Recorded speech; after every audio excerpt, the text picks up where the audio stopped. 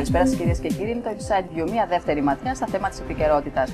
11 μήνες χωρίς διευθύνοντα σύμβουλο παραμένει η Τράπεζα Πυραιός. Νέα παρέμβαση από τον ενιαίο υποπτικό μηχανισμό κατά τη διάρκεια της συνεδρίασης του Διοικητικού Συμβουλίου της Τράπεζας είχαμε χτες με το θρύλε της θέση να παραμένει. Μαζί μας ο Δημήτρης Πεπάνης, ο διευθυντής του Resided.gr. Δημήτρη, το παρασκήνιο.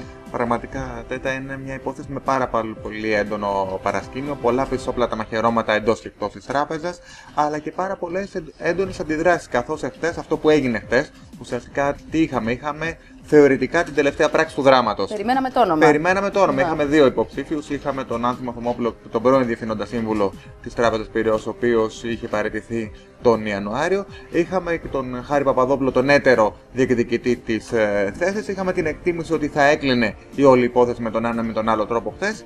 Και ε, μεσούσε της συνεδρίας του Διοικητικού Συμβουλίου, χθες το απόγευμα ήρθε μια επιστολή από τον SSM, η οποία εν πολύ έλεγε σταματήστε τις διαδικασίες, ξαναελέγξτε τους δύο υποψηφίους και δείτε μετά τι θα γίνει.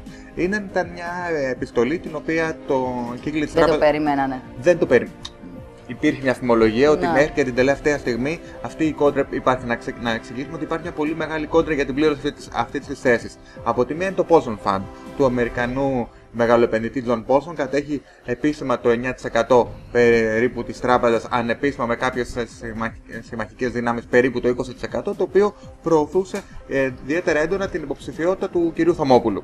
Από την άλλη, υπάρχει ε, μια επιστολή από το Ταμείο Χρηματοπιστωτικής Σταθερότητας που έλεγε ότι έκρινε ακατάλληλο τον κύριο ε, Θωμόπουλου και γενικότερα η προηγούμενη διοίκηση αλλά και η, τα υπάρχοντα στελέχη της ε, τράπεζας ήταν υπέρ της ε, υποψηφιότητας Παπαδόπουλου. Και δείχνει μάλιστα υποψηφιότητα Παπαδόπουλου τις τελευταίες ώρες να κερδίζει έδαφος.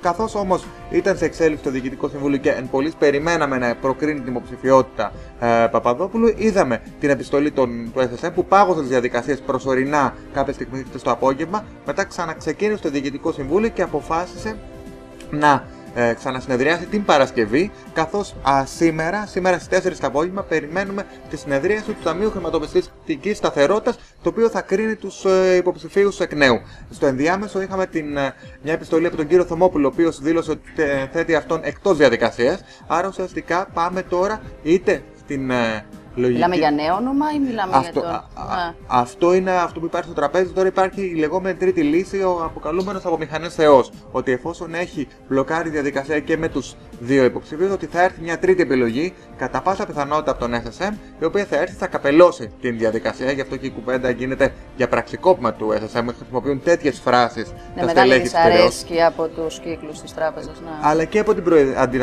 αντιπροεδρία της κυβέρνησης, η οποία δηλώνει έκπληκτη για το όσα έχουν γίνει, θεωρώντας ότι υπάρχει μια ξεκάθαρη παρέμβαση σε ένα θέμα εσωτερικής εταιρικής διακυβέρνησης της τράπεζας, η οποία θα μπορούσε να αποφασίσει είτε για τον έναν είτε για τον άλλον.